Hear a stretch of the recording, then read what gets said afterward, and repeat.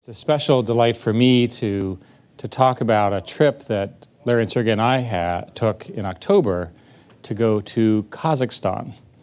Uh, it's not a place that you would normally visit, but it is a fascinating place, and it has a history that goes back to the origins of, our, of the space program in the, in the world and, of course, the American response. Um, as part of that, we met a very, very interesting person whose name is Rich Garriott, who indeed was the founder of games that you all grew up with called the Ultima Games, uh, and whose father was an astronaut on missions in 1973 and 1981. Uh, and it's interesting to, to meet a person through their family because he was behind the glass. And I'll tell you, the family is great. I think he's pretty good too. but having said that, we watched uh, one of the most amazing things that you can ever see. Uh, three people headed out to space uh, in a rocket that did not blow up and launched on time. And in fact, I lost a bet to one of the other fellow travelers on the, on the trip because he said that, uh, that, you will lose, that I owed him some amount of money if it didn't launch within four seconds of launch. Now, can you imagine if we applied that rule in all the other space programs? And that's how impressive the Russian space program turned out to be. So I think what's most interesting today is we're not only going to hear what it's like to go through that process, but also what it's like to spend six months, eight months in that world, a culture which has produced these enormous, enormously interesting achievements and one which we don't know very much about. So with that, I think Sergey wanted to say something. Where is Sergey? In fact, Sergey is dressed up. He's dressed up in all red, or also known in his bike in his bike outfit. Okay, well, I wanted to tell a quick story before uh, we bring Richard up here. Could you have dressed a little bit more formally for work? you know, I've been recording all my movements. I have two GPSs on me and a heart rate monitor. Just a little project for fun. It wouldn't have worked if uh, Richard had done that, I suppose. By the time you're going at the orbital velocity, the GPS probably doesn't work. Um, anyhow, so uh, we were uh, we all went to see uh, Richard off kind of the night before the launch. Uh, he was behind this glass and uh, all protected, and all the people there were wearing masks because you don't want to get somebody sick uh, right as they uh, go into space. Uh, but we got a chance to chat with him. We asked him, Well, what are you taking up? And obviously, one of the most important things he was taking was a camera. And then he was discussing the memory that he was taking up, um, which was, you know, he had like four gig and eight gig cards or something like that. And I thought, my goodness, this guy is going to space. And I have to have like 32 gig cards on me because I brought to, you know, record the launch and whatnot. And whenever a new size comes out, I, uh, I swiftly order some. Uh, so anyhow, so I said, hey, Richard, I got some bigger memory for you. You want to take it? Uh, and uh, in fact, he did. Uh, and uh, so now he has returned it to me today. He just showed it to me. um, so this memory, and I might actually pop it out of the case at some point and download the data. um, but this is the memory chip that has gone to space. I, I, suppose I should send PNY a little note. They can say space certified now. So, so first the memory chip, and then the Sergey is going to space, right? well, as uh, as probably most of you know, but perhaps not all, uh, I have. Uh, put a deposit down on a slot, which uh, which periodically I have opportunities to take up, and P. Peter always informs me when the launch dates are, and I I'm still contemplating it. Uh, though certainly uh, seeing Richard off and seeing him, more importantly, seeing him now back and alive. That's right. Um, and a, we should also mention a picture perfect landing. That's right. I wasn't there for the landing, but I heard it went really nicely, uh, as opposed to the prior two. But anyway, everybody came out okay in those all uh, in any case. So as long as everyone survives, I suppose it's a good landing. Uh, without further ado, Richard Garriott. Thank you. Thank you.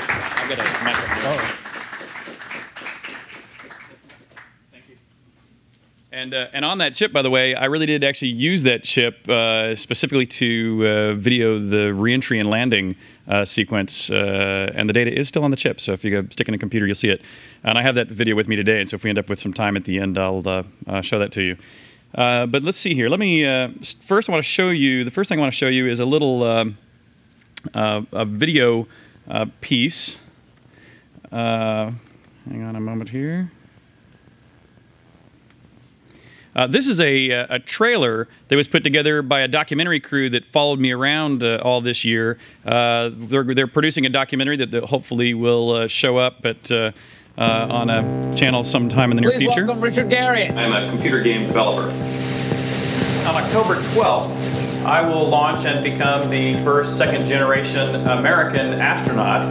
I was up there on the second flight for essentially two months. What you have here is some footage that hasn't been seen anywhere before, it hasn't been experienced before. This entire year, I've been uh, in Star City, just outside of Moscow, training.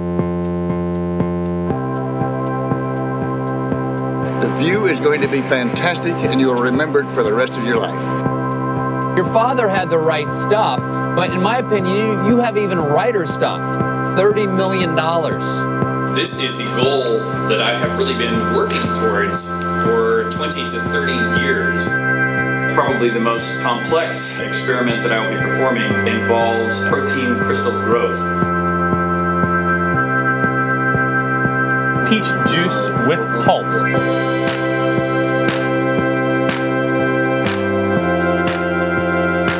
I think the demand for private access to space is going to continue to grow and grow. And it brings me great pride to announce that Google co-founder Sergey Brin, he's placed a $5 million deposit on a future spaceflight. Everyone's advice has been wear a diaper, plan to use it.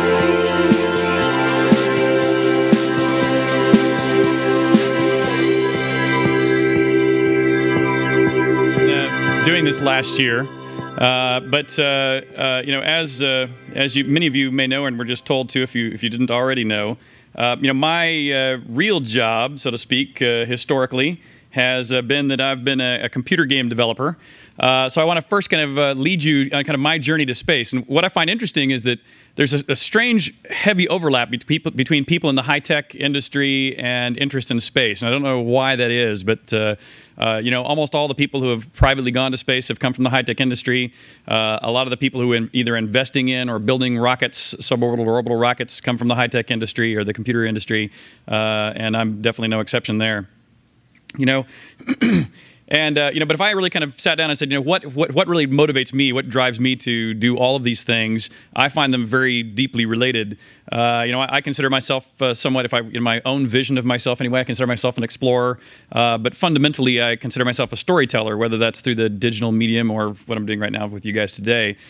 Uh, and you know, I tend to collect these stories, and this goes back even if you go to my home in Austin, Texas. Anybody that's been there uh, would uh, agree that you know my home is full of secret passageways. It's got an observatory, dungeon, indoor-outdoor pools with artificial rain, and just all kinds of really crazy features. And I, am building now my third home. And each of my homes I've kind of designed myself, and they get kind of stranger and wackier uh, iteration after iteration.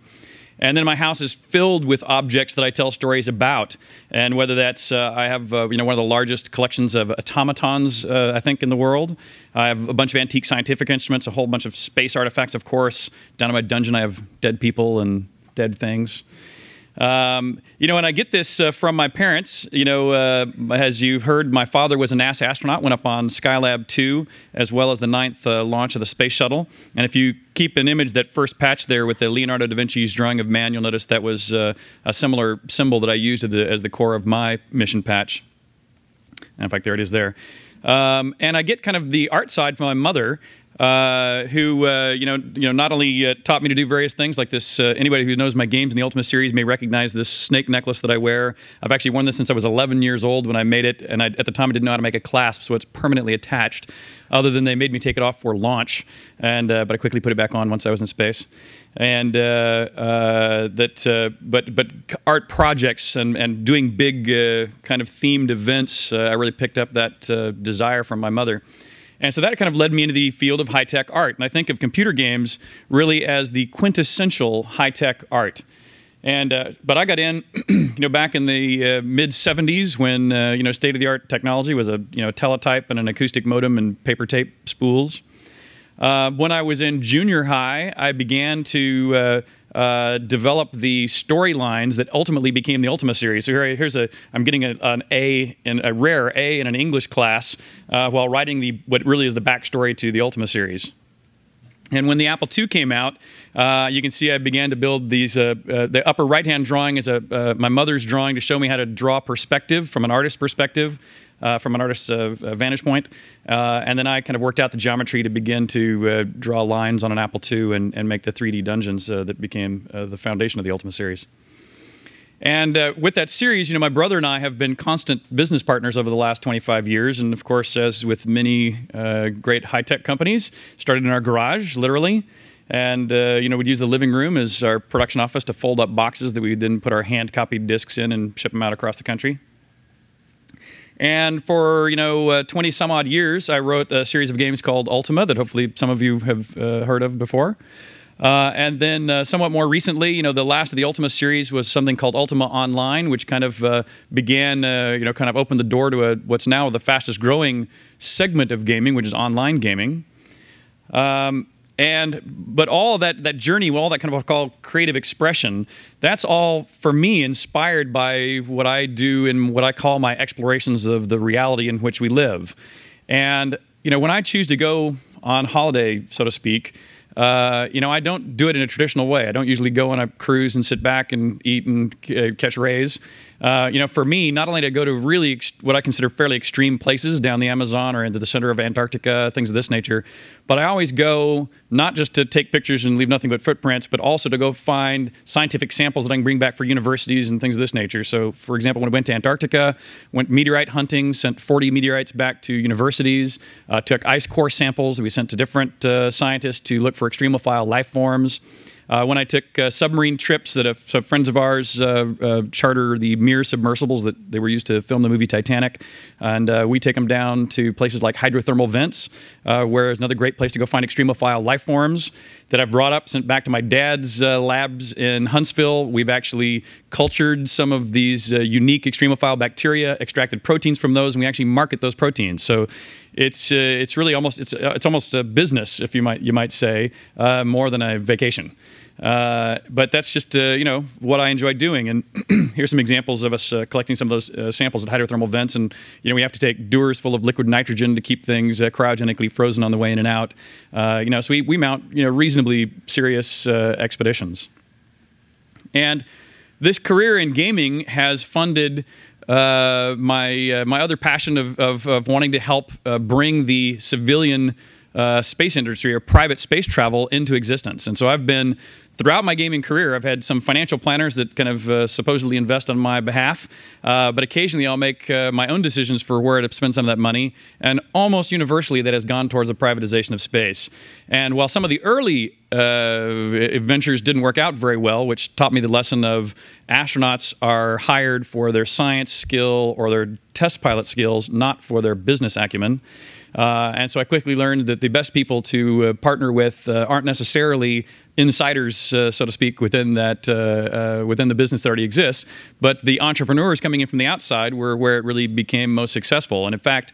Um, uh, some of you may have already heard. I've, I've, technically now I've retired from my most recent company, NCSoft, and uh, I'm now actually uh, just as of a couple days ago, I'm, I'm full time with uh, Space Adventures because uh, I have a lot, lot, of space stuff now to wrap up, and I'm also one of the trustees of the X Prize, and I have been, uh, you know, one of the initial supporters and long term members of the X Prize that you have Spaceship One. I noticed hanging out here yourselves, but.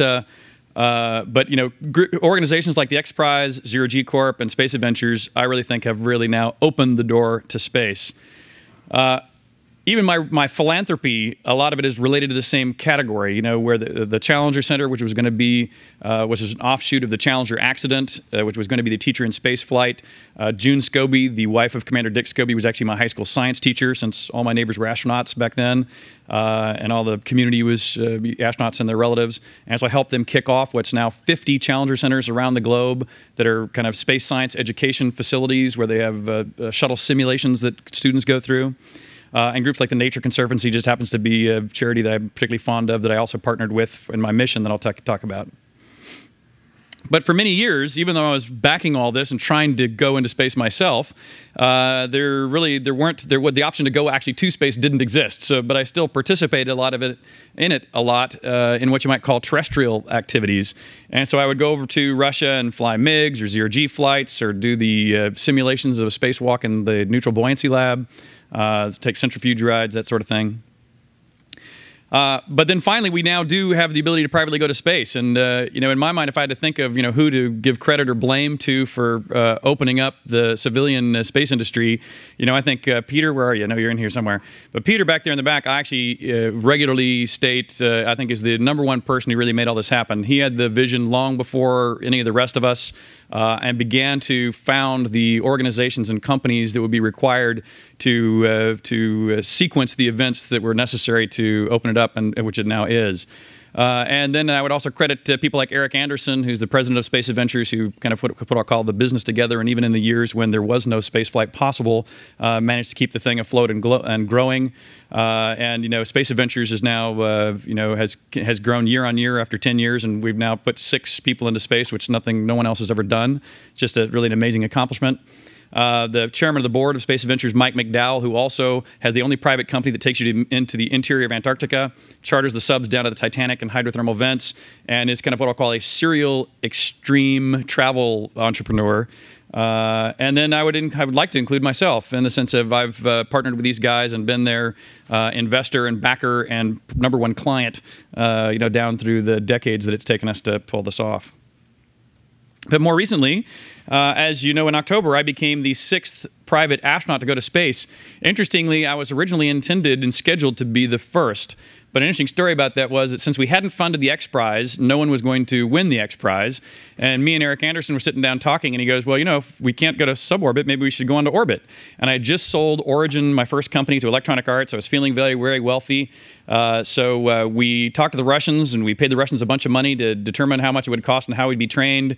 Uh, when they came back, it was uh, well within or what we expected it to be. So I signed up to be that first person, and then the internet stock market crashed and with it went all my money. And so we sold my seat to Dennis Tito, is the way I like to describe it. And uh, uh, and so then I had to go build another company, go you know uh, start over from scratch basically. And as soon as I had enough money to pull it off, I signed up, and I've now spent all my wealth going to space. But uh, but again, that's what I've been doing this for. So for me, it was uh, well worth it. And I think you'll agree if you if you watch the journey here. you know, so if you, if you think about you know what it, what does it take to have the quote the right stuff to go to space now? Uh, as you know it takes uh, you know, to do it privately it takes a big chunk of cash and a fair bit of time to go through the training. But there's also a bunch of medical work that you have to go through uh, and there's a whole bunch of training that I'll, I'll talk about here too. And the medical pre-qualification is uh, interesting and you notice you see a picture of my stomach there with a, nice 18 inch scar in it uh, that's because uh, I actually they found uh, in the very detailed medical analysis they do of you. In my case, they found something called a hemangioma on my liver, which apparently about 10% of the population has, and most people live and die and never know or care, unless you happen to be potentially involved in the rapid depressurization of a spaceship, in which case, hypothetically, it could uh, cause internal bleeding, which you couldn't diagnose or fix and would be fatal. And so they made me remove it, which I did. Um, then uh, even after all that medical, you uh, you know you go to you go to Russia and you go through more batteries of medical. So uh, uh you know what's interesting is at first when I'm going through this, I'm going like, come on guys, we're just going to go float around in a can for a couple of weeks. This you know you're surely you're you're you're analyzing this in too much detail. Having now gone, I can tell you the physical challenge, the physiological challenge of spaceflight is actually considerably more uh, apparent than I had expected uh, pre-flight. And when I was over there, I really gained a deep appreciation for Russian space history. You know, I mean, think everybody everybody knows things about Sputnik and Gagarin, and you know, you, you have in the back of your mind all the first they have, but it really drove it home for me while I was there that other than landing a person on the surface of the moon, pretty much every other first there has been to have in space, they have done. And what I thought was interesting is that over there, they celebrate space history without regard to nationality. When you go over there, you see just as many uh, statuettes and, and, posters about Neil Armstrong la landing on the moon as you do about Gagarin's first flight. And, or maybe not quite as many, but still plenty. And uh, they celebrated it in the continuum of space travel. And I can't say that I have ever seen in anything over here in the United States talking about space any significant appreciation of the work that's been done in Russia. And so I found it was, to me, was you know, uh, almost embarrassing in a little bit to, to realize how well uh, celebrated our firsts were, but uh, how much we don't celebrate theirs, and uh, it felt a little bit of an injustice. Uh, and over there too, you know, everyone who started their space program is still working on their space program. So I met uh, Tereshkova, the first woman in space. She saw me off at my launch. She helped me. She was there at my landing.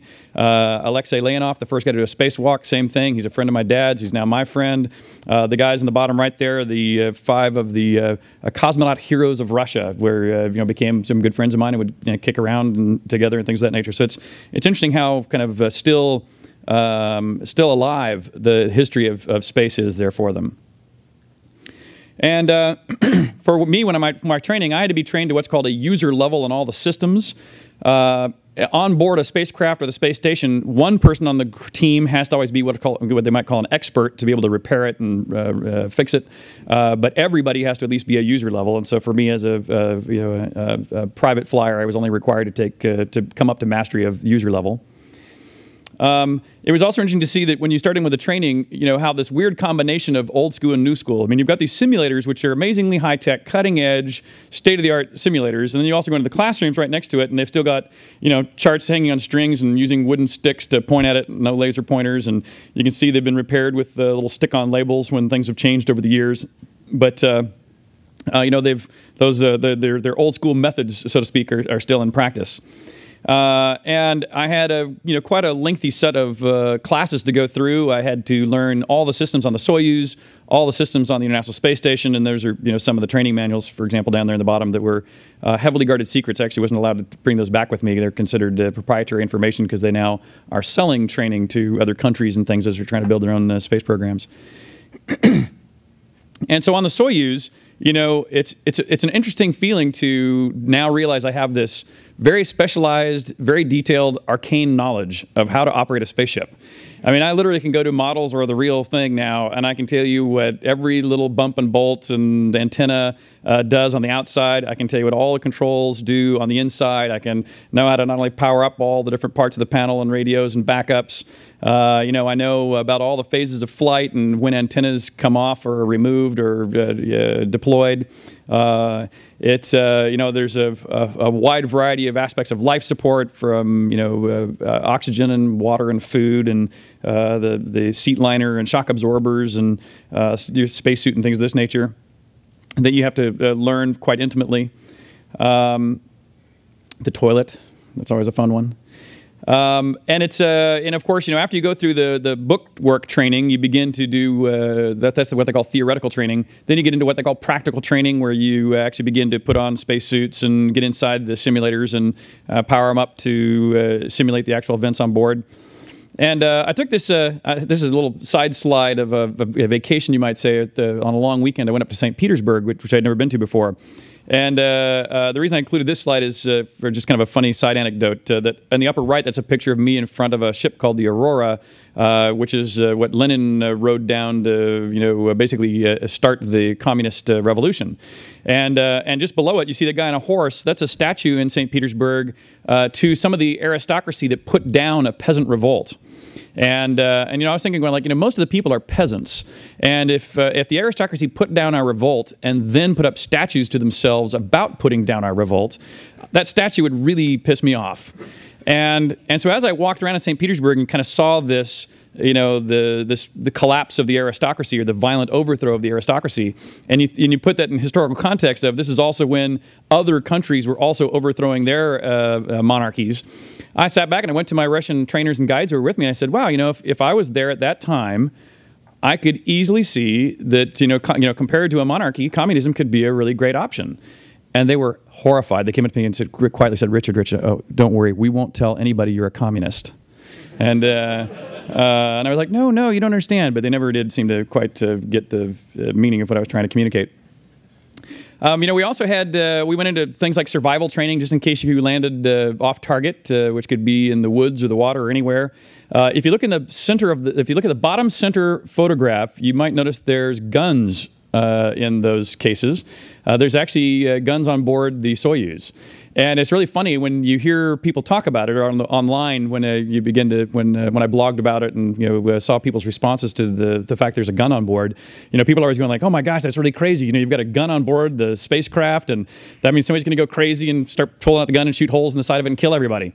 And uh, you know, my response to that was, you know, once you learn these systems, you do not need a gun to kill anybody or everybody on board. There's buttons and switches and valves that you could easily uh, move into the wrong position or unplug that would, uh, you know, uh, dispatch anyone or everyone if you so cho chose. a gun is uh, the least of your worries. and then, of course, you had to start practicing some of the survival skills. Like one of them that was particularly tough was in case you land in the water, you have to take off your spacesuit and put on a sea survival suit before you pop the hatch. And there is no room inside of a Soyuz. I mean, it is, you are shoulder to shoulder, heels against your butt, toes touching the far wall, head touching the other far wall, control panel, hatch. And so the only way you can change clothes at all is to basically lie across your friends and have them help you take off one set of clothes and put on the other set of clothes. It's very complicated, hot, and, and uh, miserable. Uh, you know, had to do outdoor survival. We had to do uh, sea survival. We actually then, we had, the thing we had rehearsed a couple slides before, we actually went and did for real in a space capsule out in the water. Uh, and that's actually the first piece of training that I actually failed the first time I went through it. Um, when they put us, put us in the space capsule out in the water, and uh, by the way, uh, there's a little purple pill in the, on the bottom row in a little plastic bag. That's actually a, a temperature gauge that you swallow, and it stays inside your gut for a couple of days before passing out the other side. And uh, for, but for the couple of days while you're doing the sea survival stuff, they use that to monitor your core body temperature while you're doing the simulation.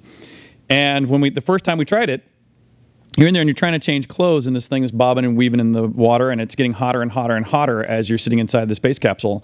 And uh, there's this interesting problem where if you try to move too fast, you get exhausted. But if you move too slow, you won't be done before it gets too hot to continue working on the inside, uh, which is what happened to us.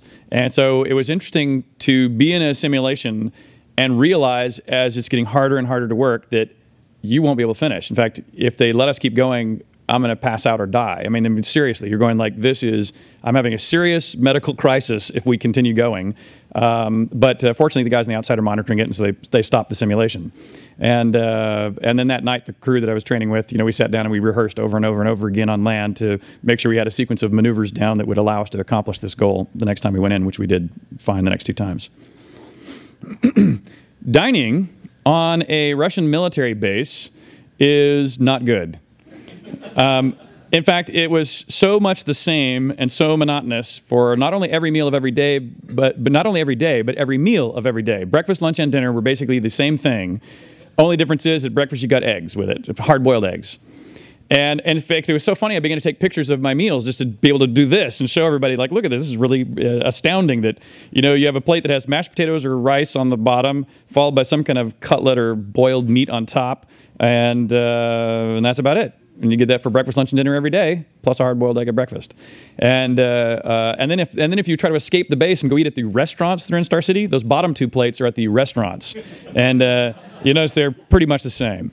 And uh, uh, and then, of course, you, you have to also uh, go through training, and they have a wide variety of about 100 uh, items you can choose for your space menu. but I have to tell you, after eating the first 10 of the 100 items out of a basically a can of tuna fish, you quickly realize that you're not going to be any, you're not going to do any better in space than you did on the ground. Uh, it uh, it was uh, fairly thin pickings for uh, good food, uh, which I think is kind of funny because a lot of the professional astronauts I talk with all say, "Oh, the food's fine," and I'm going like, "Well, okay, I guess you're you're not a foodie like I am." I found that to be one of my least favorite aspects of the journey. Then to we did a similar set of training on on the space station itself. Uh, you know, had to learn the outside, learn all the inside. It's uh, you know how to operate all the radios. You know, the, what's funny is the the space station could really use a graphical over, user interface overhaul. Uh, they really need somebody in our industry to uh, to come in here and help them with this because uh, it is it's an interface that's been designed module by module over 10 years and then hacked to continue to work together. And so to, for example, turn on a, a, a radio to talk to the ground on a one particular VHF channel requires you to confirm that the settings of all these different connections down through the space station uh, are correctly set for you to do it. It's it's uh, it all works just fine, but it's uh, it's uh, uh, much more complicated than I would have expected. Uh, then there's the toilet, and you know, you, you know, in a modern toilet, you think you just walk up to it and use it and flush it. But the the, the, the station toilet requires you first to come over to this panel where you have to power up the panel uh, outside the bathroom. Then on the inside, there's another little control panel. We have to generally keep it over here in the automatic mode to uh, so that uh, there's also manual overrides you can use. Then you come to the main panel here on the uh, uh, the toilet, uh, where you'd power it up, and you set up things called, uh, for example, the pre-treat dose, so that when you actually initiate it, it adds some acid into a variety of filters that's going to be using a little later, and you see the fan cycle up and other things. Then you uh, have to open this little stopcock here, which actually turns on the oops turns on the main airflow that will provide suction, you might say, for the solids and liquids that you're about to deposit. Uh, and then you can use it, and then you can back out of that whole process to shut it all down. So it's actually, you know, a complicated uh, thing to, to use. And, uh, and it's funny that, you know, uh, I'd always heard that the most common question kids ask astronauts is how do you go to the bathroom in space? But I can also tell you that the most common dinner conversations amongst astronauts is how do you go to the bathroom in space? and uh, especially just before flight. I mean, every night they're going like, okay, now, because you can't simulate it on the ground. And so everybody's worried about it. You've never simulated it, and uh, and so you you try to get as much information as you can before you get up there. Uh, but then I can tell you, once you're up there, it's completely different than everybody talked about. I mean, it's uh, and there's more interesting challenges, and if you really want to know about it at the end, I'll be happy to tell you. Uh, then there's the galley, uh, you know, where everybody eats, and there's a little, basically a toaster for your tin cans that you can heat them up in. Uh, on the right there, that's the uh, water processing unit where you fill up uh, your drink bags and uh, other rehydratables with uh, with water.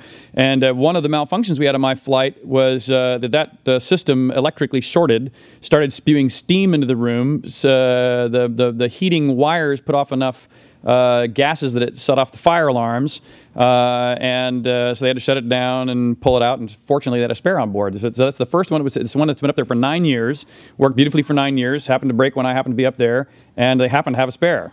Otherwise, I'm not sure what they would have done. But uh, you know, it's just interesting. Uh, you know how.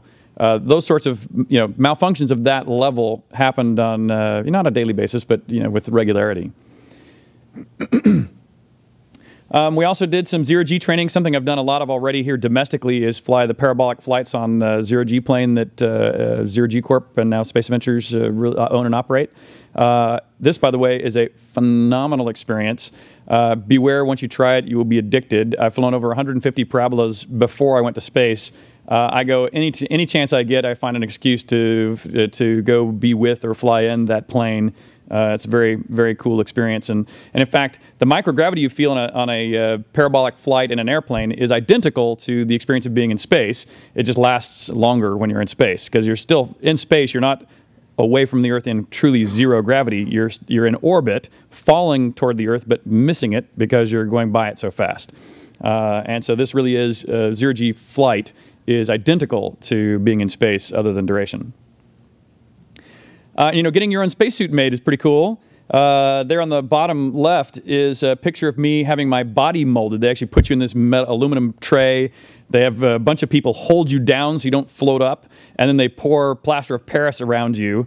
Uh, you know, it's not like modern alginator that people might use for making masks or prosthetics for movies. I mean, this is you know rock hard uh, uh, plaster of Paris. And so as it's setting up, they wait till it's just the right level of hardness to then they bring a big winch over and winch you out of the muck that you're now getting uh, slowly uh, solidified into. Uh, and uh, and then of course we had to do a bunch of testing on it. Once you get it, the, once they sew it up and complete it, you do a bunch of vacuum chamber tests on it and things of that nature. I also really grew to deeply appreciate what I would describe as, you know, what I call Russian family traditions. The Russians are great about, uh, much better than like the NASA families were when I was growing up. When I was growing up, either the, the, the male astronauts would go off and do their own thing, or the adults would go off and do their thing, but rarely was it the families would go to get together to do things. Uh, and in Russia, it's always the whole family. And uh, it always includes lots of food and lots of vodka and uh, and it's really funny that uh, you know there were there's uh, there were there were lots of kind of jokes you might say about drinking, uh, you know, where or or and some kind of real statements like uh, when I was with getting my medical checkups and they're saying, well, do you smoke? No, good. Uh, do you drink? Yes, I'm with dinner. Uh, et cetera, et cetera. Do the rest of your checkups. Like, okay, well, it's good you don't smoke. You know, you should really cut down on you know drinking that wine with dinner. vodka, that's okay. And that was really, truly the doctor's advice to me.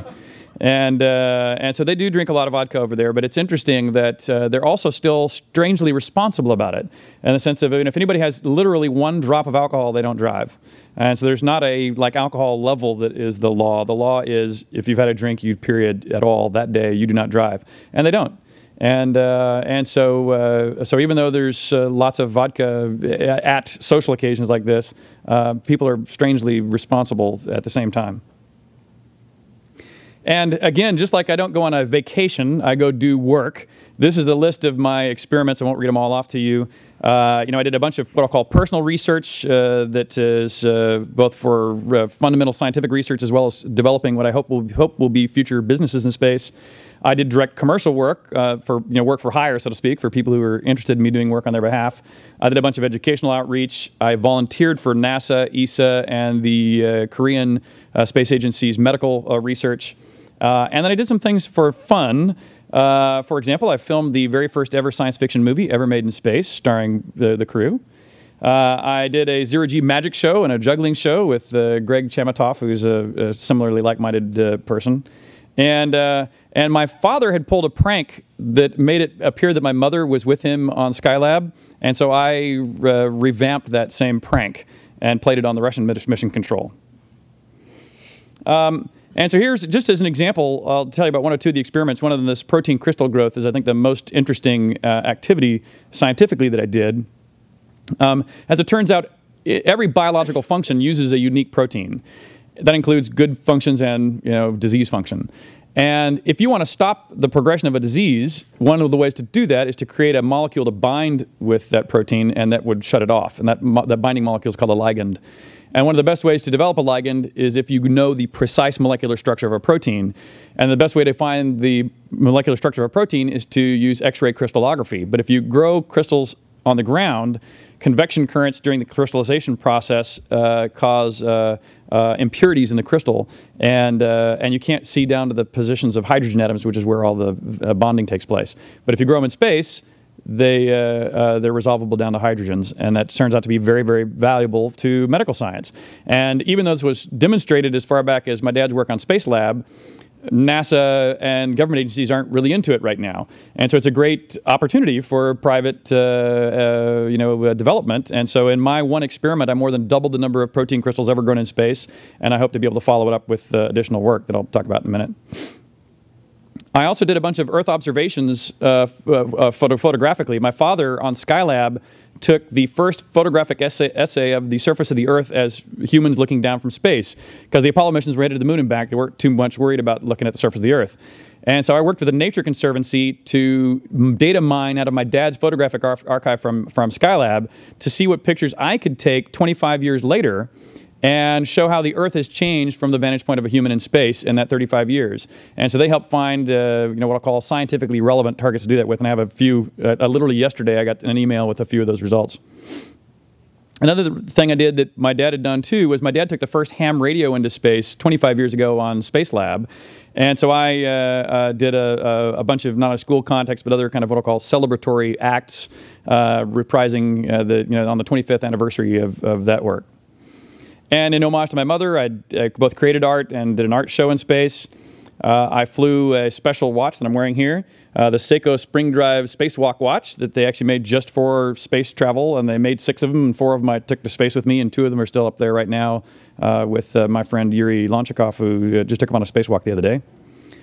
I did some work for DHL doing educational work. For my own company, uh, NCSoft, we did something called Operation Immortality, where we digitized people's DNA and took it into space, ostensibly in case the predictor, uh, the prediction of my last game, Tabula Rasa, came true, where the Earth is decimated by aliens. The the DNA, the digitized DNA we would leave in space, uh, would be something that you know future, future people could rebuild humanity from. And I took uh, people's DNA, like Stephen Col. Oh, where's my uh, my my Colbert Report bracelet has, has disappeared. Uh, but and uh, uh, also took up Stephen Hawking's DNA. And over there to the right, that's a guy that, that codenamed the Diffuser, who won season two of the Who Wants to Be a Superhero that happens to live in Austin, nearby me. And again, uh, you know, I did uh, a bunch of work uh, with the Challenger Center. uh, we're, connected to uh, by uh, both the video downlink as well as ham radio to students around the globe. I did a lot of work with the British National Space Center, mostly again with uh, children. Uh, those medical experiments I talked about. And then you get to the point where, uh, you know, once you've prepared all that stuff, uh, you have to finish off your, your final exams, which are all oral and uh, a bit intimidating at first till they realized I was a pretty good student. Then it became kind of a sparring match between me and the trainers to, uh, you know, once they knew I was going to be, you know, qualified or competent, we, we, I actually really enjoyed the, the process. And my last trip home just before flight was actually a very, what you might call, melancholy time. I was really surprised how uh, you know, quiet I became on my final trip home, and it was it really did it really did feel like wow I'm, about to leave the Earth and go off into space, and I'm about I'm doing something that you know technically is relatively dangerous, and uh, and so it, it it really moved me in ways that I was surprised to see that I felt uh, when I was there on my kind of final trip home. And only after that final trip, all the rest of that training had been solo. I'd been working basically by myself and with my backup Nik Halik. Only here at the very end did I actually meet the other crew members. I, I had met them there at Star City, but I didn't train with them as a crew until I had passed all my individual exams.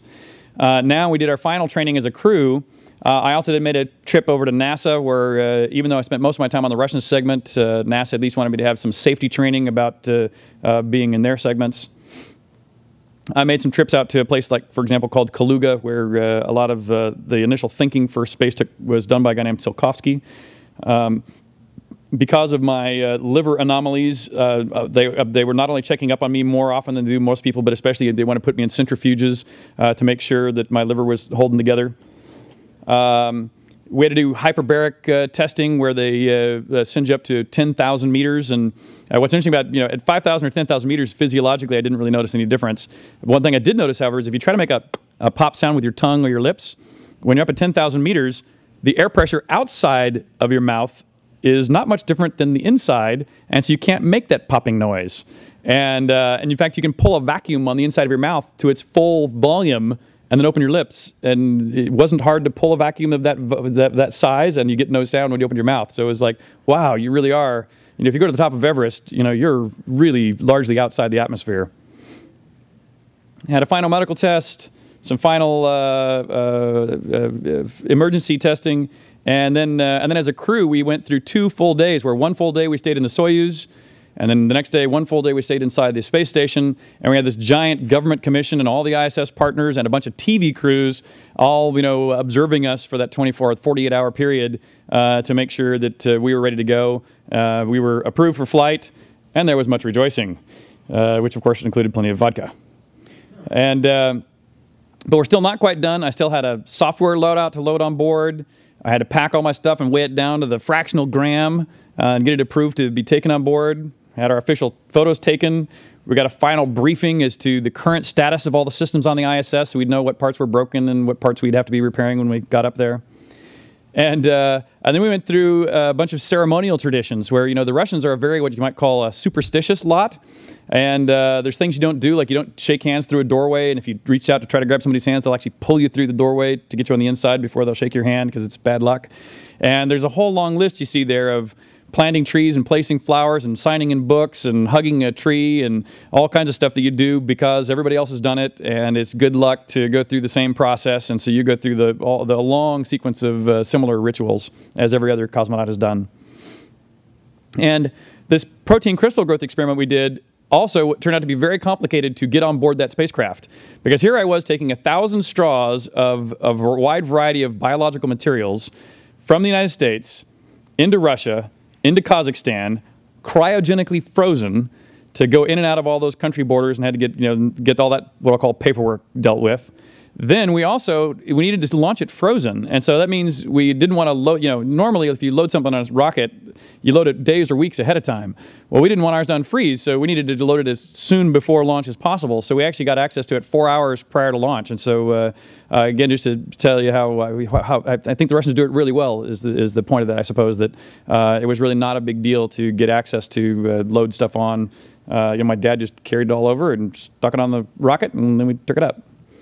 Um, you know, one of the things that the Russians really love to do too is put you in these spinning chairs, and uh, and they believe that it helps uh, desensitize you to motion sickness.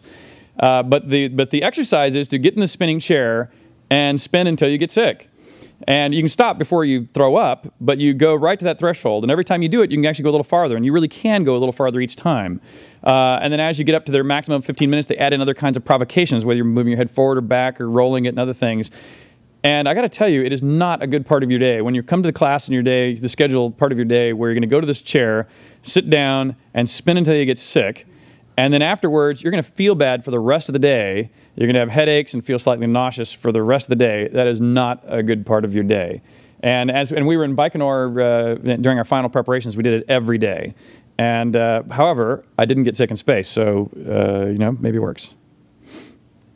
When we did get to Baikonur, you know it's out in the middle of it's a, basically a desert wasteland, and it's just an interesting dichotomy to see all the camels and the radio antennas, uh, you know, that are out there. And uh, that's also when I finally got to see my rocket and uh, get to sit down in it and you know, uh, see it getting its final coats of paint and uh, its final bits of assembly. Uh, we began to you know test all the parts and pieces and integrated in final form. Uh, got more more tilt tables and spinning chairs. the another final briefing we got was how the rescue teams were going to be deployed. So that in case you abort off the pad, you know, if you, if you abort during the first stage and the escape tower fires, you're going to end up at some distance from the pad. If you get to the second stage before an abort, you're another distance from the pad. If you actually have a third stage abort, you, a, you end up in the uh, ocean near Japan. If you get into space, but you have like a, a leak, and so you need to re-enter, there's a path across Kazakhstan that you're going to be on that you could re-enter during. So they need people deployed all along that path. There's thousands of people they deploy just in case for every launch. And what's interesting is in 35 years, they've never had an abort. But in 35 years, they always put these thousands of people out into the field, you know, just in case. It was, it was very impressive to see the amazing amount of coordination that was required to, uh, uh, to do this. And we stayed at this really historical place. This you know, it was called the Cosmonaut Hotel, where, uh, among other things, they have trees planted by everyone who's ever launched into space there. And so, uh, the first tree down the, the left of that LA you see on the upper left was planted by Yuri Gagarin uh, just before his flight. And every person who's flown to space since has planted a tree farther and farther down that length of, of that row of trees. Uh, and because of the timing, uh, you know, so we were, we were, when we launched, we needed to meet up with the space station, and so for some reason the math worked out where every night, right after sunset, if you just walked outside, you could look up and watch the ISS go by, and so it was really cool to go outside every night. And usually on accident. I mean, we did it a couple times on purpose, but it's just as often you just happen to be out there at sunset and look up and hey, there goes the ISS. And it was kind of cool to just go, you know, a couple days, I'm going to be there. Tomorrow, I'm going to be there. And even two days, 48 hours prior to launch, they have still not put the rocket together it's still in pieces. And so we're going like, how can they do this? You know, how is it they're going to literally in less than 48 hours finish assembling this rocket, get it out of the launch pad, set it up, hook up all the wires, fill it with fuel, and get us into space? I mean, it was, it's astounding how efficient they are at this. I mean, it's normal for them is to not have this thing assembled until literally before it launches. Um, and the launch pad we use is the same launch pad they've used from Sputnik through Gagarin and every Soyuz launch ever since. So it's a cool historic, uh, you know, uh, uh, spot. Um, and uh, of course, uh, we got to plant our own trees as well in that LA. And the day before launch, they actually rolled the rocket out onto the pad. And this is unfortunately uh, was one piece of one activity I didn't get to see personally because we were in quarantine in a way they wouldn't let us out here. Uh, but uh, my dad got to go out there, and a lot of my friends went out there too. And uh, uh, did you guys get to go out? Did you actually watch it roll out and stand up? And uh, you know, it's the the, the, even the way this, their launch pad works, now ours all has like a, when our towers all peel off our rockets, there's explosive bolts and motors and machines that all pull the stuff away. Theirs is all just counterweighted. The weight of the rocket actually holds the gantry against the rocket to hold it up. And when it begins to lift off, the lifting of that weight means that these can just tilt away by counterweights. And so it's a, it's a wonderfully elegant uh, design uh, that, it, that epitomizes the way they've done all of, the, of their activities in space. And then finally on uh, uh, October 12th, uh, I got to take off. And there you can see, look in the bottom right-hand corner, you see a person standing there just a short distance away from that rocket. Uh, that uh, It's interesting that in the States, the closest anybody gets is uh, five miles, three to five miles from the launch. The review stands for this are only about 800 meters away. So most everybody's only 800 meters away. But if you're bold, you can get uh, you know up to about 200 meters away, and uh, so it's it's just amazing the what I call the different philosophy over there, where uh, they look they go, hey, it's it's dangerous. You know it's dangerous, but if you want to stand there, okay, you know. And uh, after eight minutes of engine burn, you're in space.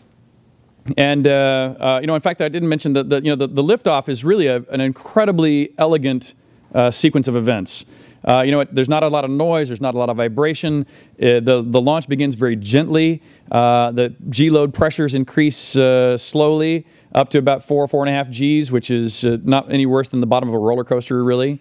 Um, so it's actually extremely comfortable. and it only lasts eight and a half minutes. And when the engine shut off, you're in space, and this is your view out the window right here. And, uh, and so the views from space, of course, are spectacular, as you would expect. Uh, but you have this impression of looking down at the Earth that changes over time that I'll, I'll talk about in a minute. But one of the first things that struck me when you look out the window and realize you're both you're really high up when you look out at the horizon but when you look down the view actually looks pretty familiar and you actually don't seem that high uh, and you also realize you know that if, if, for example if this is the size of the earth you know, you're only 250 miles above the surface of the Earth, you know, the width of a couple of fingers above the surface of the Earth. And you go, you know, this orbit better be mighty perfectly circular, and my vector better be right on, or we're going to re enter on the backside uh, unexpectedly. And the fact that they could pull this off with such precision, uh, I was really astounded by when you realize, you know, there's when you, when you see how close you are to the Earth, you're going like, wow, there's just no room for error. It's got to be exactly right. And uh, they and so it's I'm really impressed, not just the Russians, but the fact that we as a as a species do this with regularity, with this level of precision and margin of safety, um, I think is is really quite impressive. And just uh, every now and then now you'll, you'll see little views from space uh, peppered in. And well, for the first two days, I lived on board the Soyuz. It actually takes two days for you to match speeds and positions in space to dock with the ISS. And so uh, your, uh, your, your total life is the descent module, the, the capsule that you went up in, plus another six foot sphere, this habitation module, uh, that you can at least uh, uh, float around inside. And if you look at the bottom right, you'll see my sleeping bag there that uh, you just basically float wherever you want to to go to sleep. You generally use a string or a thread to tie yourself to a wall so you don't bump into each other. Um, uh, but uh, but otherwise, you're just kind of hang out. And there you can see when I recovered in the center there, you can see I got my snake back out of storage and, and put it back on. Then uh, uh just more pictures of the Earth. And again, I'm just th th this just struck me just because you can look at all that silt coming out of these uh, riverbeds and swamps uh, out into the oceans. And even though I didn't get the motion sickness style space adaptation illness, I did have uh, what's called fluid shift, where it feels like you're hanging upside down from the monkey bars on a gymnasium, which for five minutes wouldn't be that big a deal, but after five hours kind of sucks. And after five days, you're really tired of it and uh, had headaches and other things that uh, were really quite a nuisance, but uh, uh, you, do, you do eventually kind of adapt. And uh, now, uh, two days later, here we are. That's uh, this was taken by Mike Fincke out uh, one of the uh, nadir windows, uh, looking down. that's the, the near vehicle is Soyuz TMA-12 that I came down on, and you can see the little orange patch there is actually where they did a repair to it that I'll talk about in a minute. and the other vehicle is TMA-13 that I'm arriving in here we are arriving, and our first view is through the screen in the front because our windows face the side, so you actually don't see the ISS as you're approaching it, except for through the TV cameras. Um, and then until you get very, very close, you can finally see it out the side windows there. And when you get on board the space station, what's interesting is there's this interesting uh, difference between the Russian side and the US side. The Russian side is small, cramped, grungy, dimly lit, cluttered, looks like this. Then you go to the US side, it is spacious, brightly lit, sterile, still a little bit cluttered. Um, but uh, you know, there's a there's hatch you go through. There's a very striking difference. And uh, but by the time I finished my flight, I had a very different opinion of this gap that I'll talk about in a minute. Another thing that was really cool to look at was uh, sunrises and sunsets, where you could really see the thickness of the atmosphere, or the thinness, you might even it might be better to say, of the atmosphere. And you can see there on the ground, you know, the clouds are some distance above the ground here in this shot. And you look up through the rest of the atmosphere, and the rest of the atmosphere isn't that many multiples of uh, the height of the clouds uh, before the atmosphere becomes too thin to, to, to refract uh, light from the sun. And and you know, think about that on the surface of the Earth. I mean, the, the, our atmosphere is just astoundingly thin, and it really drove home uh, the impression of uh, things like a lot of pollution that you see getting pumped into the atmosphere. That I, I think I've got some shots of here in a minute. And there's my little uh, bedroll unrolled just out in the middle of one module that uh, was uh, where I called home for two weeks. I noticed I used some bungee cords to simulate gravity and hold me to the floor. Um, I mentioned the uh, repair job they had to do on my rocket. The previous two Soyuzes had reentry troubles that they believe were caused by a lack of complete separation between two of the modules that need to separate before reentry. And so, since they couldn't figure out what was wrong or how to fix it, they decided to remove, do a spacewalk, and remove the explosive bolt that they think didn't fire. And so that they put that explosive bolt inside this metal container there that you see that I'm holding, and we brought it back down with us. So uh, reentry was actually a uh, uh, an interesting time for us because uh, there was, uh, you know, it was unknown whether we would have that same problem or not. It was unknown, uh, you know, if you know what what margin of safety there was if it did happen. but in our case, it, it wasn't didn't turn out to be a problem. And you know, a lot of people. The, one of the most common questions I've been asked since I flew is, you know, did seeing the Earth from space change you? Did you have this epiphany where suddenly it's, did I have this thing where, oh, we all live happy, happy, joy, joy in one world together, one small, fragile, you know, blue marble? And to be honest, I was very skeptical that that would occur for me, even though lots of people say that it would, uh, or had for them. Um, and for me, when I first got there, it didn't originally. But there's this impression that builds on you over time where I would actually say that by the end of my flight, it actually had. And I'll take you on kind of this, this, this journey. I had already talked about how when you look out the window, you know, you, you look out the window toward the horizon, you feel very, very high above the earth. But when you look straight down at the earth, you begin to see things that are actually quite familiar. You see airplane contrails and uh, clouds that, frankly, don't look that much different than looking out the window of an airplane. In fact, the way I would describe it is, you know, if in an airplane you feel like maybe you're three to five times higher than the clouds, well, in lower, lower Earth orbit, you feel like you're 10 to 20 times higher than the clouds. And me and my dad did some rough calculations, and it turns out that's, you know, not far from accurate. And so when you look down, you actually see pretty much the things you would expect to see out of an airplane. And that includes, you know, I'd always, I was, uh, I had fallen prey to the misbelief that, you know, one of the only things you can see from space is the Great Wall of China. Well, I never saw the Great Wall of China, but you can see roads and bridges and farms and you know uh, pretty much uh, uh, ship wakes coming out of harbors and airplane contrails. You know, it literally is a very familiar view. It's just a little bit further away, and you get a much bigger uh, amount of the view. And you're traveling over the Earth at 17,000 miles an hour, so a lot of it scrolls by in a hurry, and so you get to see a lot more. But uh, but the type of view when you're looking straight down is, is is quite familiar. But the first thing you notice as you start orbiting is weather systems because about half the Earth is always covered in weather, so you see a lot of weather, and you get this sense of how weather systems interact with each other around the globe, more than you do out of books or uh, single satellite images. Then you begin to notice, especially over deserts where there's usually no clouds, so the next thing you can see a lot of is deserts. Uh, you begin to notice what I'll call the large-scale morphology of the surface of the Earth in ways that uh, you know give you this empirical understanding of tectonic plate movement and things that uh, uh I also thought really fascinating. Um, and again, this is just another, uh, you know, one of these examples of familiarity where, you know, you're looking down on a, a familiar uh, scene of uh, Mount Rainier in this case, and uh, again, the airplane contrails going back and forth across it. This is, and it's, this is what you looks at, looks like looking at by eye. Um, and, uh, but one of the things I noticed was that, you know, humanity is everywhere on the earth that is fertile. When you go across every continent on earth, if you're not over a city, you're over farmland. And if you're not over a city or farmland, it's extremely mountainous, it's a desert, or it's covered with ice, or it's a swamp. Otherwise, people are everywhere. And, uh, uh, and it really, and it's again, there's nothing, you, you can't really perceive that till you've gone around the earth over and over and over again staring out the window. And, uh, and especially when you go over places like Africa and South America where you see them doing uh, uh, slash uh, and burn farming techniques, there are continent scale amounts of burning going on and just vast areas of smoke going up in the sky that I saw every day when I was in space. So I presume it goes on most every day, most every year, and has for an awful long time. And uh, you know, and I don't have the math in my head to know how big a, how significant contribute that is, but at least what I'll call from a feeling standpoint, it's a lot. Um, and it was very impressive just to it, it impressed upon me. Uh, it, it, left a big impression. Uh, you know how much uh, that that that uh, took place. Um, and now humanity's even expanding into the hard places. You know, uh, you know those are the Palm Islands in the world. Uh, they're in Dubai, and you know you can just look out the window and see them just fine. And and also in the deserts, you'll see places where there's ancient riverbeds where they're pumping water up from underground, and and the and they're building farms now out in the middle of deserts that.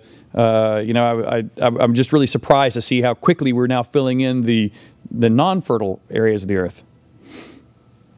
And you know, when you look out the window of this the spacecraft, you know, inside it feels all cozy and comfortable. In fact, uh, you know, there's not even things like I expected to see like oxygen meters or pressure gauges or these life support readings, you know, to, to know you're safe. And it's really surprising that though that information is available if you go through a few screens of laptops, uh, it's just not in your face, if you know what I mean. There's not even a thermometer or anything in there in your face. And so they, they really kind of manage that all from the ground. And, uh, and you're just up there in a shirt sleeve environment that feels very homey. And when you look out the window, it's both it's a, a, beautiful, intoxicating view, but you also sit there and think about it as you see through this crystal clear vacuum of space at the other parts of the spacecraft. You know, go, you go, it's a hard vacuum which would kill me. You know, there's radiation levels that would kill me. Uh, there's temperature extremes which would kill me. You know, there's just it's right outside this window is you know death in a hundred ways. You know, it's uh, it was another kind of just an impressive uh, thing. You know, the galley that has six people there, you know, eating at meals in the galley, but it's really only designed for you know two to four people. And so the only way to make it work is you use all the three space around it. And since there's really no up or down, you can see everybody uses the ceiling and the floor and uh, float above the table and turn upside down in order to get enough people around the water processor and other things. It's a, uh, it's just a really funny thing to get used to. Uh, that uh, this kind of lack of orientation. And it was really interesting to come up. You could come up to a module junction and uh, you know, you always nominally people would think of towards the Earth as down, and all the labels on things are labeled so that the Earth is down. But if you close your eyes and face another module, and then put your legs that way and open your eyes and think of that as down, you suddenly think like, oh my gosh, I'm going to fall into that pit. And it's really easy to just turn your body another way, just decide this way is down, and your whole your brain completely uh, rearranges it. this is my workspace and some of the experiments uh, that uh, I was doing in my in my cluttered little workspace. Another fun thing I did is uh, before I started doing ham radio transmissions, I transmitted uh, slow scan TV by ham radio, and I took up a bunch of uh, test images, test patterns, and, and I overlaid them with text that said things like mutiny on the ISS or Richard Garriott takes over the ISS. And this is what I transmitted from space for the first day while I was up there, and uh, people got a, people on the ground got a kick out of that. Or I also transmitted a picture of ham from space because a ham radio in space, you know, you get it. I transmitted pictures of my dad uh, when he was doing uh, the same thing. And, uh, and at the end, I'm going to see if you guys know the answer to these questions. So this is a, uh, you know, some of the questions I got from kids I thought were really insightful and told me how well they thought about the problems. And as I've gone around with this, most adults don't know the answers to these questions. Uh, and I had to both think about it hard or had a real good time demonstrating it in space in, in the case of these. Uh, like, you know, is it hot or cold in space? Uh, you know, what happens when you open a carbonated beverage or what happens when you strike a match? Uh, can you burp in space? Which, which, I was actually wondering about myself. Or are you going to, you know, if you stand on your head and try to burp, you know, it could be problematic. So zero G could be similarly problematic. And, you know, things like uh, magnets and radio waves. Uh, but at the end, I'm going to see if you guys know any of those. I talked to you about I made some art in space that I'll be auctioning off for charities. Uh, there's uh, performing some of the experiments I did. When I told you about how I, uh, I, I, took, uh, you know, that I repeated this uh, practical joke uh, that my father had done on Skylab, and let's see if that comes up audio-wise. This one may not. There you go. So this is my Skylab, Houston, AOS, Carnarvon, five minutes.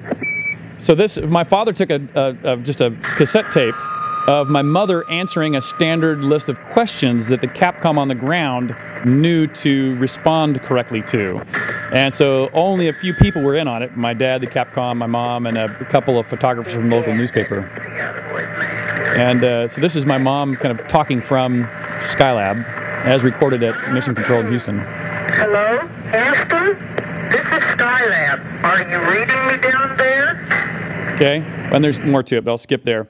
But I took up a slightly higher tech version. In mine, I actually uh, I played my joke, a uh, similar joke, on the Russian mission control, and uh, you know, and I made mine in a PowerPoint that I could push uh, different samples. Excuse me, is there anyone there? but that way, in case the people on the ground went off script, I could uh, choose hunt and peck for words and uh, play it in, uh, in real time uh, myself. Um, you know, I was doing the, amongst the medical experiments I was doing. One of them involved drawing blood, and you tend to get dehydrated when you're in space. And they were trying to draw blood on me on the last day, and we tried seven times to draw blood. Seven times had no success, and ultimately they gave up. So uh, uh, I was a pincushion. Um, then it was fortunately it was time to leave. Uh, you know, reentry you know, as smooth and comfortable and beautiful as launch is, reentry is quite different. Reentry, uh, you know, starts out uh, actually entering the atmosphere at 17,000 miles an hour is so fast you rip molecules apart. Uh, so you create a plasma, fiery plasma that uh, around you that is actually hotter than the surface of the sun. So it's interesting to uh, you know come down through that, although it's still quite comfortable on the inside. It doesn't rattle or shake or it's not noisy. But once the parachute opens, that's like being at the end of a whip that gets cracked. So immediately debris is now flying around inside the space capsule. Uh, then when the heat shield is dropped, explosives go off underneath your seat, which raise your seat into a uh, shock absorbing capable position.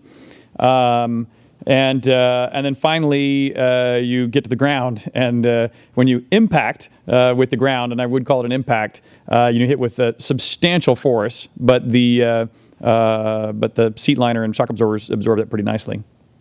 So there we are, about to get the ground. There we are, just just getting ready to open the hatch, and we get pulled out. And uh, my dad was there uh, for launch. He was in mission control running my ground team, and he was there uh, for me at the, at the recovery helicopters.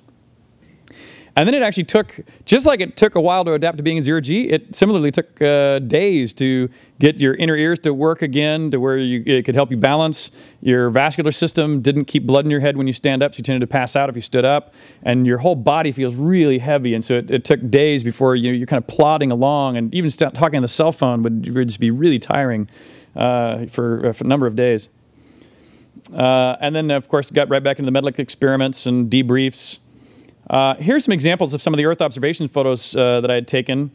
Uh, and uh, in particular, here's some comparison results. And literally, these are only two days old. I got these yesterday, um, uh, where they're showing like I took pictures of a forest fire over here, and here's its match on Google Earth.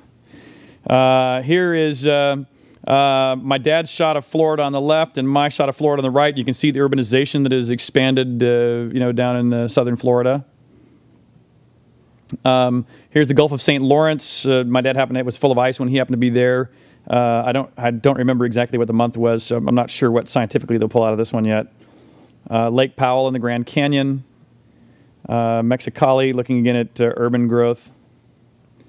Uh, the western African coast. And uh, here is some examples of uh, what the protein crystals look like that grow in those little straws that uh, I flew into space that we're studying now. And the, the early results actually seem very good. The crystals, we, the control group on the ground versus the ones in space, the ones in space grew more numerous and more large and have actually diffracted much better than our ground controls. So the early results on that experiment look very good. And so here's kind of my takeaways from this journey.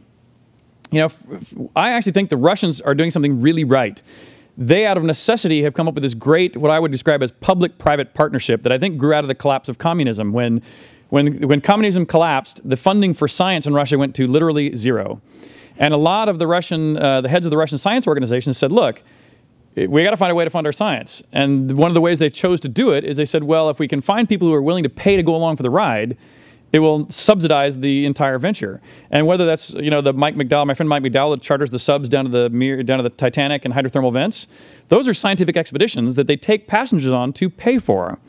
Um, when when we started flying our private citizens in space, you know, we're paying a significant chunk of the price of that launch of that vehicle that allows them to uh, to not pass that burden on to taxpayers. In the United States, if you ask that same question, the answer is absolutely no, because we're more worried about how it will look to taxpayers who will go like, wait, we paid for that vehicle, and this private citizen is getting some benefit from public dollars that that, that are subsidizing his uh, his trip. And so they're both quite valid perspectives. I just think the Russian way works better. Uh, because I think everybody's everybody would rather get the tax burden off the uh, off the populace anyway. Uh, and I think uh, the right thing to do is to get uh, private citizens and companies in, into into taking over that burden and participating. Uh, and so I think they're kind of ahead of us on that curve. another another feeling I have, you know, I happened to launch on Columbus Day, so I like the Columbus metaphor of saying that, uh, uh, you know, back before people were traveling regularly across the Atlantic, it was such an expensive and risky proposition that only something the scale of a government could undertake it. Once you've proven you can get there back and forth safely, quickly private citizens and corporations took over, and the governments got out of traveling across the oceans. Well, the same thing needs to happen in space, and is sort of happening in space, but not at the pace that I believe it should. Uh, that uh, uh, you know, the, we're, we're still uh, too dependent, I think, on uh, pu- purely government answers. And you know that, that strange impression I had that I mentioned about how there's this division between the Russian segment and the US segment?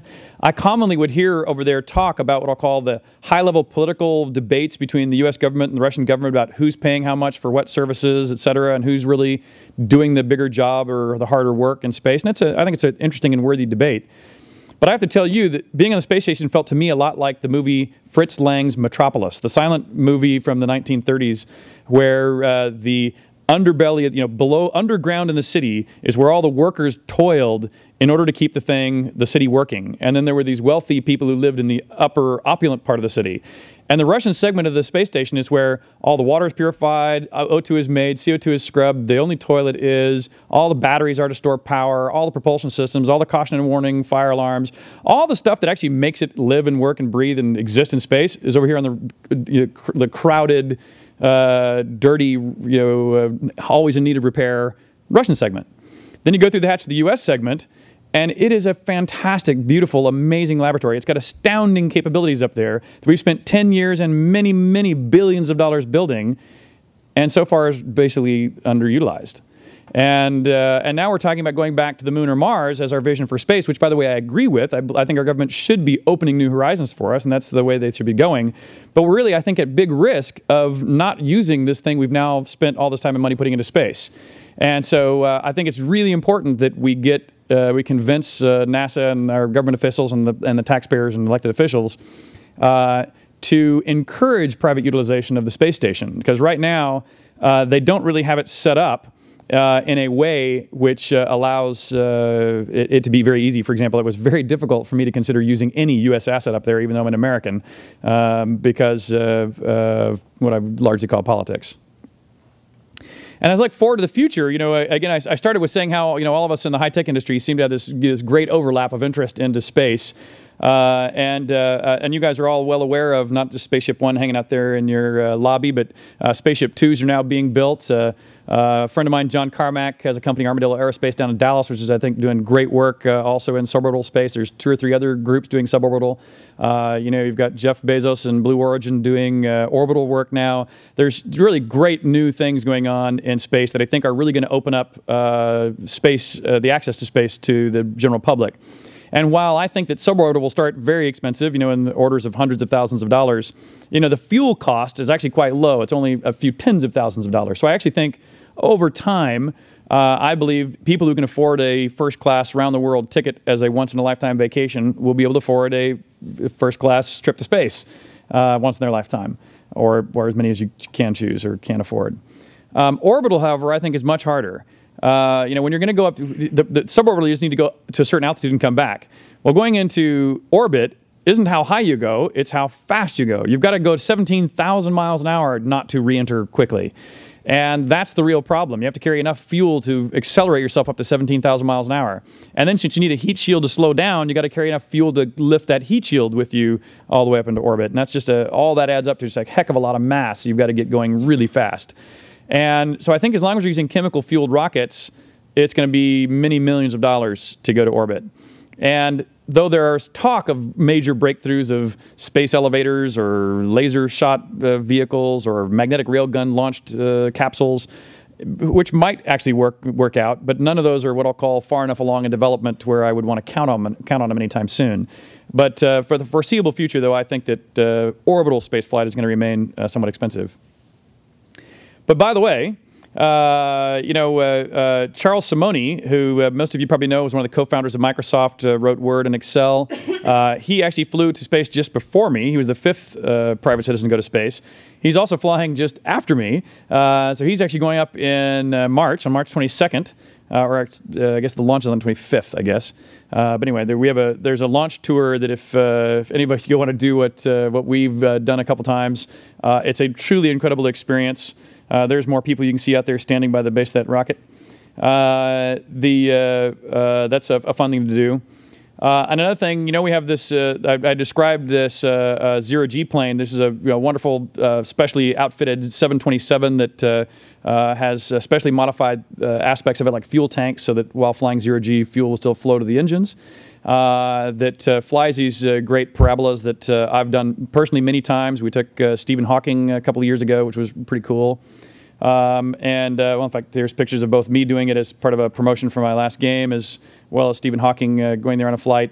And we're actually going to bring that plane here. We're actually going to fly it out of uh, uh the Ames Moffett Field here uh, on June 28th. And so I'm going to actually come out here myself too and and uh, and fly in it myself as well. So this is an invitation to any of you who would like to come fly zero G. you can send an email over here to the zero G folks. And and with that, I will close the formal part of this, uh, go to some questions. And I have some little videos if, if people are interested and want to stick around. I'll show some of the things like uh, uh, the, the, movies I made and of reentry and uh, magic and uh, sci-fi and all that kind of stuff. Uh, but I'll do that only for those who wish to stay after a bit of Q&A. So thank you.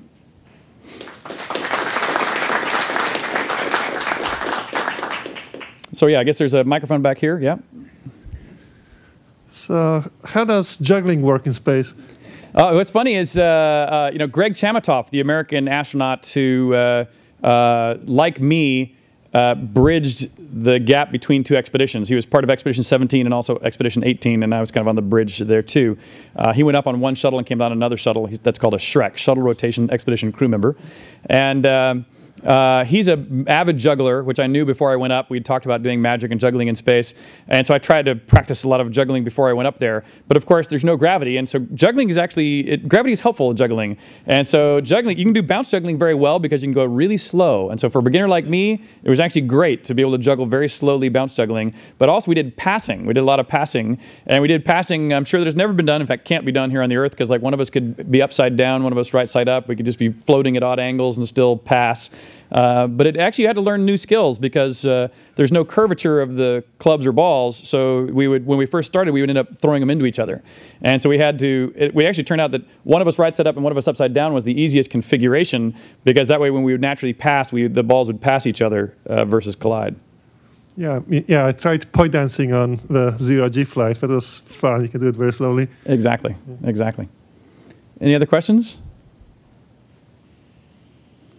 Okay, well then, uh, thank you all very much again. Uh, and uh, anybody that wants to stick around, I'll, I'll show some uh, videos here in just a second. Okay? Welcome.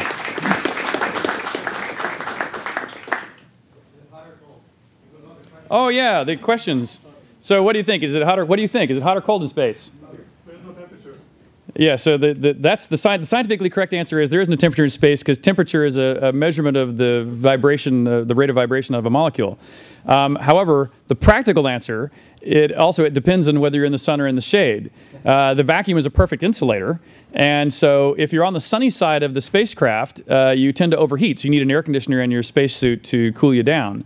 On the conversely, though, if you get in the shady side, you radiate heat away from you through infrared uh, radiation, uh, and you tend to get very cold very quickly. And so astronauts that are out on spacewalks uh, will commonly their fingertips are hard to even with the suit uh, uh, uh, management of temperature. It's hard to uh, keep your fingertips at a good temperature. And so you'll always see them, if they're in the shadowy side, they'll do things like stick their hand up into the sun uh, periodically in order to warm up their fingers before they go back to work for a little while. So it's an interesting problem. Uh, another one on there, I'm just curious if you guys figure this one out too, or if you know this one, uh, is uh, striking a match in space. Would it work or not? Yes, so you say yes? I think it would go out after like, igniting. You think it would go out after igniting? Now, now, what about if you're in space versus inside the spacecraft? Yeah, and what about outside? Outside, there's nothing to burn. No, no So, uh, so, uh, so this was one that wouldn't let me test. Uh, but uh, but I believe the correct answer. You're you're very close. You're basically correct. But I, uh, the, the one exception I would say is uh, in space it should work too, uh, in, in the vacuum because the match head has fuel and oxidizer, and then the striking provides the heat. And so while the match head is burning, it will burn inside or outside the spacecraft, I believe. Uh, but you're correct that of course it'll go out in the vacuum. Once the match head's burned, it won't continue to burn because there's no oxidizer outside. Uh, but inside the spacecraft, a match won't continue burning.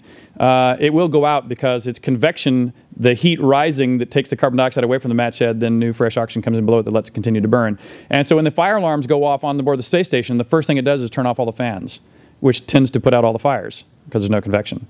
And, uh, uh, and you also do things like, and, and, the corollary to that is going to sleep in space is a very dangerous proposition because if you go to sleep in a place that doesn't have good forced air ventilation, you breathe in and out the same pocket of air and you suffocate.